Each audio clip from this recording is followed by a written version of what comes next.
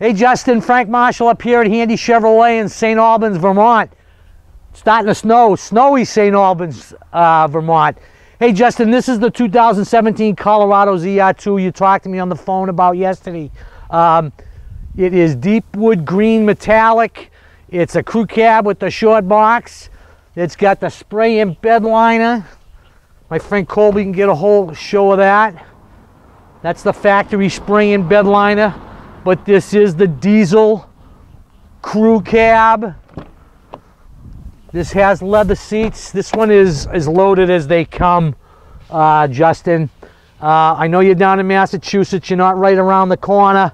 Whatever we got to do to help, we'd love to make a deal with you. Uh, my name's Frank Marshall. This is Handy Chevrolet.